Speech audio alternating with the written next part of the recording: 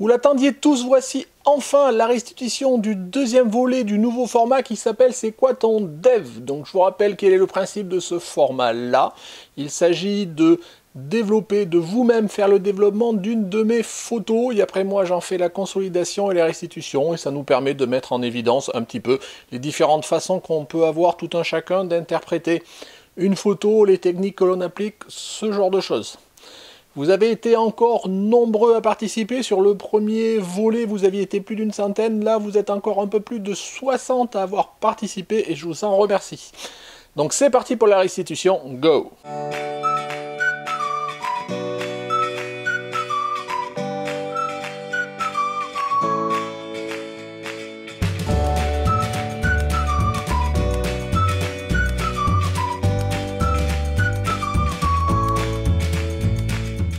tout d'abord, je suis désolé parce que je fais la restitution quelque part là, dans mon studio, dans mon garage. J'aurais aimé la faire derrière mon ordinateur, mais vous savez, si vous me suivez, que je suis toujours en travaux. Et donc mon bureau est pas mal embouteillé, donc j'ai pas pu le faire, mais vous en faites pas, vous verrez aussi les photos. Donc euh, sur le C'est quoi ton dev, je vous rappelle le principe, c'est de développer une photo dont je vous fournis le RAW, une photo de moi. Cette fois-ci, la photo, c'était une photo, je vous la montre ici. C'était une photo de rue centre, du centre-ville de Niort.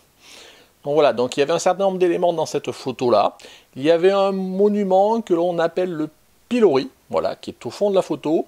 On avait une rue avec le caniveau au milieu, là, le, qui amène tranquillement, je dirais, vers le pilori. On avait des deux côtés des bâtiments qui étaient un peu plus récents. Nous avions une galerie qui faisait exposition dans la rue, donc on avait des tableaux dans la rue et des passants qui passaient devant.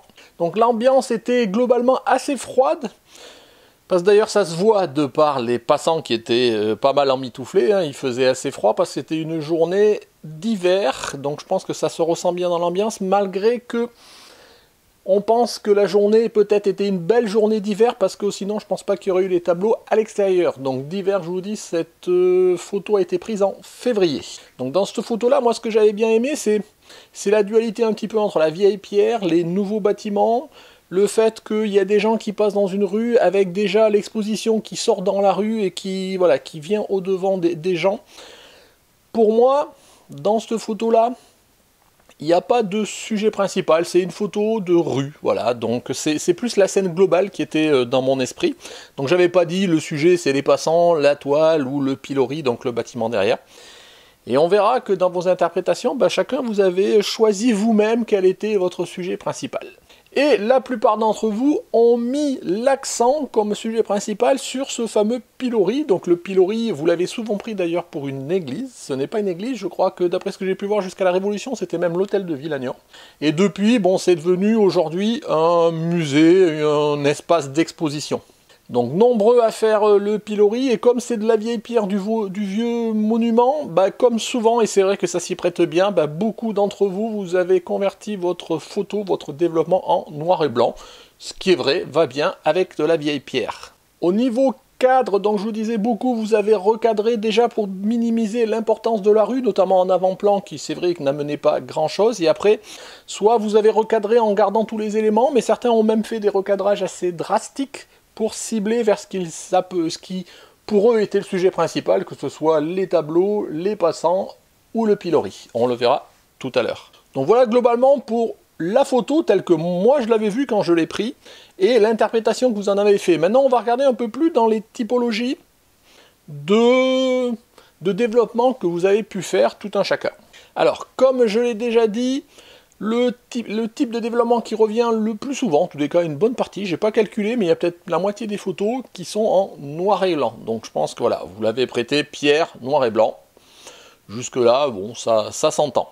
Autre chose, vous avez été nombreux à redresser les perspectives, ou en tous les cas, tenter de le faire, parce qu'avec plus ou moins de réussite, vous regarderez d'un peu plus près. Il y a certaines fois, c'est peut-être pire, je trouve, mais bon, ça après, chacun a sa technique pour redresser les perspectives. Pourquoi? Parce que j'avais fait ça avec un globalement un grand angle, donc c'était avec, je vous rappelle, avec mon petit euh, compact expert, hein, donc le Lumix LX15, donc avec un grand angle, et donc on avait un bâtiment, notamment le bâtiment de gauche, qui était un petit peu penché, et on avait un petit peu les perspectives, voilà, qui est, qui est normal, voilà, dès qu'on est au grand angle, donc vous avez été nombreux à essayer de les redresser, je vous dis, pas toujours avec succès. Après, on a vu que vous avez tous privilégié la vieille pierre. Qui dit vieille pierre, souvent, c'est on a, on a envie de les mettre en évidence pour bien voir euh, la pierre, ben justement. Donc vous avez beaucoup, vous avez été à, renforcer le contraste et la netteté sur justement le pilori pour que ça se dégage bien ce côté vieille pierre. Autre partie, la partie rue était un petit peu sous-exposé. c'est normal, hein. moi j'avais voilà, la place dynamique de la photo entre le ciel bleu et l'avant-plan faisait que j'avais choisi une, exposition moyenne. Donc de fait, la rue était un peu sous-exposée. Et donc très naturellement, la plupart d'entre vous, vous avez débouché les ombres, au moins sur la rue, ce qui se comprend. Après, au niveau colorimétrie, de façon générale, de la photo, au niveau de votre rendu, on a retrouvé les trois écoles une première école qui a eu tendance à refroidir la photo pour ben, justement coller à l'ambiance d'hiver. Une école à l'opposé qui a eu tendance à la réchauffer pour se dire bah voilà c'est un peu tristouné, je vais mettre un petit peu de peps à tout ça et je vais réchauffer l'ambiance. Et puis bah, la valeur moyenne, forcément la troisième école, c'est ceux qui sont restés à peu près dans une lumière neutre. Bon après de façon globalement je ne vais pas rentrer dans les détails, vous avez tous fait aussi un développement que j'appellerais standard, l'exposition, un peu de contraste, un peu de clarté, euh, diminuer les hautes lumières, déboucher les ombres, enfin voilà, un peu de vibrance, bon je pense que ça tout le monde le fait à peu près sur toutes les photos, donc ça je ne rentrerai pas dans le détail là-dessus. Donc certains d'entre vous ont choisi de privilégier un sujet en particulier, je vous dis que ce soit les piétons, que ce soit le pilori, que ce soit les tableaux, et souvent ce que vous avez fait pour faire en sorte de guider vers votre sujet, ça s'est traduit par soit un recadrage, plus ou moins, drastique ou pas, mais souvent ça a été accompagné, et ça s'entend en termes de développement, d'un vignettage plus ou moins prononcé pour justement réorienter le regard vers ce que vous avez identifié comme votre sujet principal. Enfin, vous avez été nombreux, alors toujours pareil, à vouloir, voir essayer et voir le faire de supprimer les panneaux. C'est vrai que bon, on est en ville et on est toujours pollué, notamment autour des vieux monuments, c'est toujours un petit peu embêtant, par les panneaux de signalisation. Il y avait un stop, un sens interdit, enfin voilà, ce genre de panneaux. Il y avait aussi des panneaux sur le pilori qui reprenaient, c'est des panneaux, je dirais, destinés aux touristes, qui expliquaient que c'était un centre d'exposition, ce genre de choses. Voilà, alors tout un chacun, il y en a certains qui ont voulu le faire, mais qui ne se sentaient pas suffisamment aguerris pour arriver à le faire. Il y en a d'autres qui ont enlevé juste les plus gros, les plus simples. Il y en a d'autres qui ont tout enlevé partout.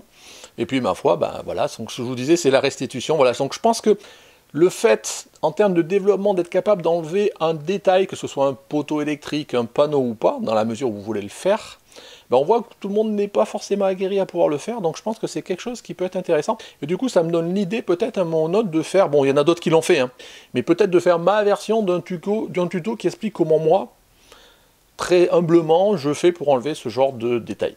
Dans les différents types de développement que j'ai pu voir passer, il y a même un d'entre vous qui a essayé de simuler un HDR. Donc en fait, il a pris mon image, il en a fait 7 développements différents, en chaque fois avec un IL de différence, entre donc 0, moins 1 IL, moins 2 IL, moins 3 IL, et euh, plus 1 IL, 2 IL, 3 IL. Et il a restitué un... il a resimulé un HDR. Le résultat, il vaut ce qu'il vaut. Je suis pas sûr de toute façon que le fait de, de forcer comme ça de resimuler un HDR, ça vaut la même chose que si c'était pris. Mais bon, ma foi, pourquoi pas?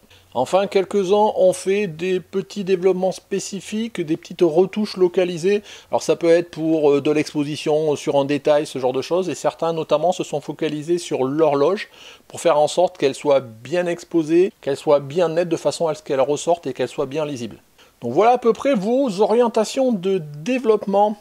Et ce qui est intéressant, et ce qui m'a vraiment intéressé dans les restitutions de certains, c'est qu'ils m'ont précisé avant de dire ce qu'ils allaient faire, le choix en termes de restitution, en termes d'ambiance qu'ils voulaient faire. et je pense que c'est quelque chose sur lequel je vais me baser pour vous demander de plus déjà m'indiquer avant de développer ce que vous voulez faire.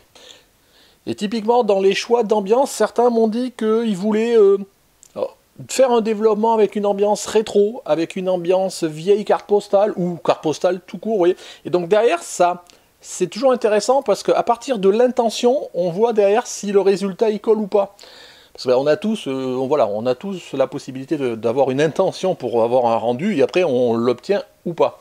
Mais déjà, on sait pourquoi, du coup, les, étapes suivantes en termes de développement, comment elles ont été orientées, parce qu'il y avait vraiment, ça s'est pas fait au fil de l'eau, voilà, il y avait une intention première, et ça c'est bien.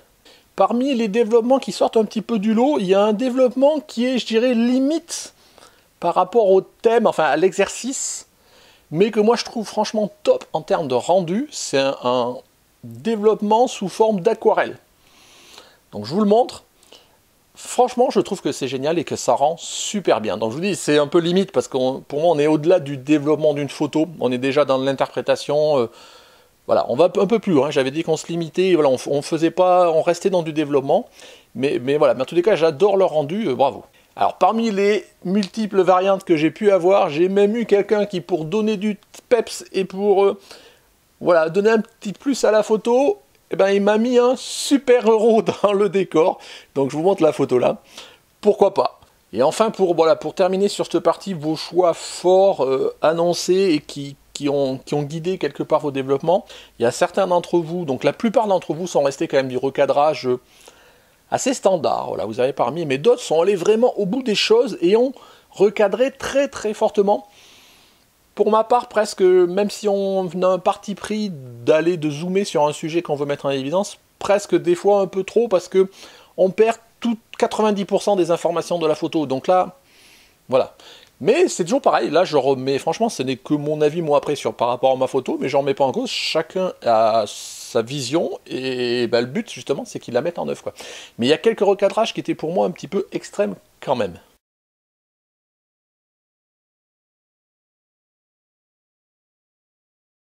Donc voilà, je pense que j'ai fait le tour à peu près sur vos intentions, sur vos grandes philosophies de développement. Et donc maintenant, ce que je voudrais voir, c'est un petit peu, c'est vous faire le retour un petit peu de mon avis sur un peu l'ensemble de tous ces développements. De façon générale, ce que l'on peut constater, c'est que tous ces développements sont globalement assez homogènes. J'ai été étonné que très très peu d'entre vous exploitent un élément qui pour moi était un, élément important quand même de la scène, qui étaient justement ces tableaux dans cette rue. Que font des tableaux dans une rue? Des passants qui passent devant? Il y en a un qui me l'a cité dans un commentaire. On peut se poser la question est-ce qu'ils ont frigorifié et ils, ils en avaient rien à faire, ils sont passés? Est-ce qu'avant ils se sont arrêtés pour regarder les tableaux? Voilà, il y a, pour moi, je vous l'ai dit, hein, tous ces éléments-là, c'était une scène complète. C'était pas spécialement de mettre en avant le pilori ou quoi que ce soit. Cette scène de rue, il y avait un élément essentiel qui était un peu au mieux, qui barrait presque la route, je dirais, aux passants et le chemin vers le pilori. Et très peu se sont attardés dessus. Pourquoi pas, mais, c'est vrai que ça m'a un petit peu étonné quand même. Par rapport à la restitution et au premier épisode, le premier volet du C'est quoi ton développement, ce, qui m'a rassuré quelque part, c'est que j'avais moins de développement avec des colorimétries extrêmes. Je ne sais pas si vous vous rappelez, mais sur le premier développement, j'avais des, des, photos qui étaient toutes rouges, toutes bleues, enfin, c'était vraiment extrême.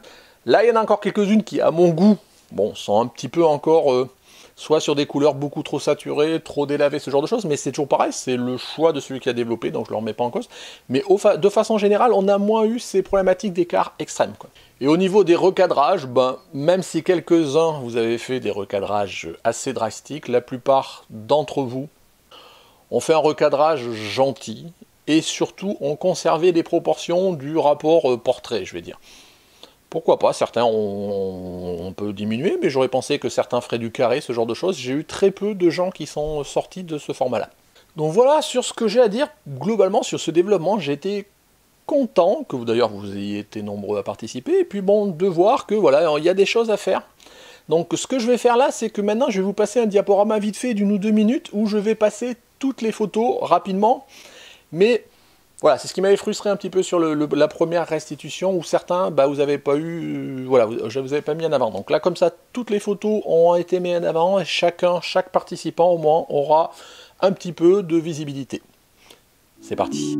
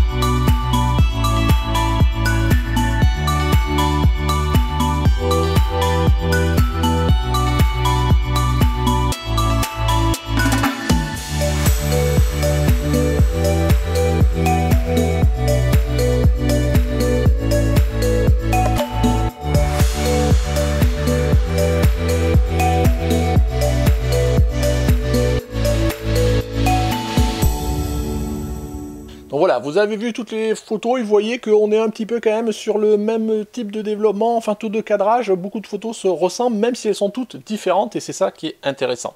Ce qui m'avait été demandé la dernière fois et ce que j'avais pas fourni, et cette fois-ci je suis en train de le préparer, donc vous le retrouverez dans la description, ce que je vais vous mettre c'est un fichier PDF dans lequel je vous mettrai pour chaque photo ben, les explications qui m'ont été fournies dans le petit fichier annexe par le propriétaire de la photo pour dire globalement les grands axes. Alors des fois c'est très succinct, des fois c'est un peu plus détaillé. Ça vous permettra par photo, s'il y en a certains où le développement vous intéresse, d'aller regarder ce que a pu dire celui qui l'a développé et qui l'a soumise. Donc ça sera un lien en téléchargement dans la description. je tiens aussi à dire à ce stade-là que certains d'entre vous, bon deux ou trois, pas beaucoup, m'ont envoyé deux développements. S'il vous plaît, en tous les cas pour les prochaines fois, ne m'en envoyez qu'un seul. Voilà, si vous êtes tiraillé entre deux typologies de développement, je vois certains d'entre vous, c'était du style entre la couleur et le noir et blanc ou pas, bah choisissez, il faut savoir choisir, et ne m'en envoyez qu'une. Donc de toute façon, moi j'ai fait le choix, et là pour le coup c'était le mien, d'en choisir qu'une et de la présenter. Alors c'était peut-être pas celle que vous auriez mis le plus en avant, mais à partir du moment où le choix il m'incombe, bah, ça peut ne pas être ce que vous auriez voulu. C'est pour ça que la prochaine fois, s'il vous plaît, une seule photo.